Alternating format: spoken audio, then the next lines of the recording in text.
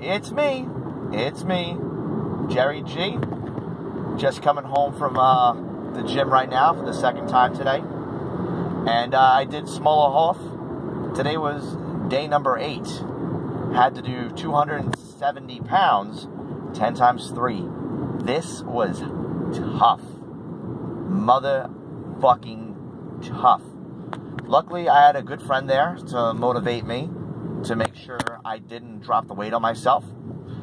I probably was bouncing a little bit off my chest, but with this routine, you're not going to have the best form. Whatever. Ass didn't lift off the bench at all, so I'm happy about that.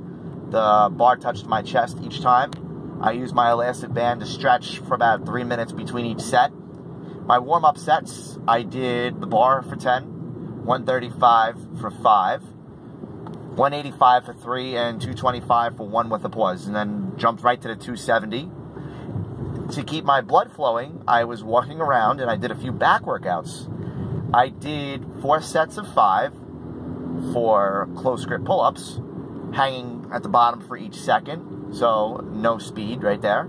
Felt much better. Then uh, dumbbell rows 60 for 10, 100 for 5, and then 120 for 5. Could have did 120 for more or jumped from 130 to 140, 150 but I wanted to keep the wrist strength good, and the gym, the dumbbells I was at the gym were the thick ones, so that's going to screw up my wrist strength for the bench. If it was the thin ones, that would have been a different story, but actually, no, I still wouldn't have done that much. I don't need to. My back doesn't need that much to work out to grow. I got blessed with that, thank God. My chest, though, do. Everyone's got that weak muscle. My chest is my weakness.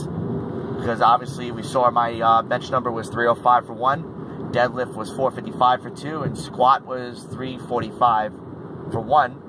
But today I nailed a 320 for three, so I have a feel my squat numbers next month are going to increase. Hoping uh, to have a 12 or a 1300 total by this September, October. I'm currently at 1100.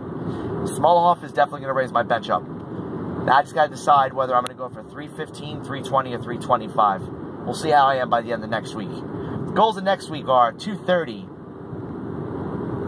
Yes. 230 for a 6x6, 245 7x5, 260, 8x4, and 275, 10 by 3 So, let's go. One more week. It's going to be very, very exciting.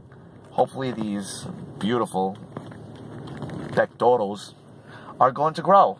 And if they don't, I will eat my own chest. Have a great day.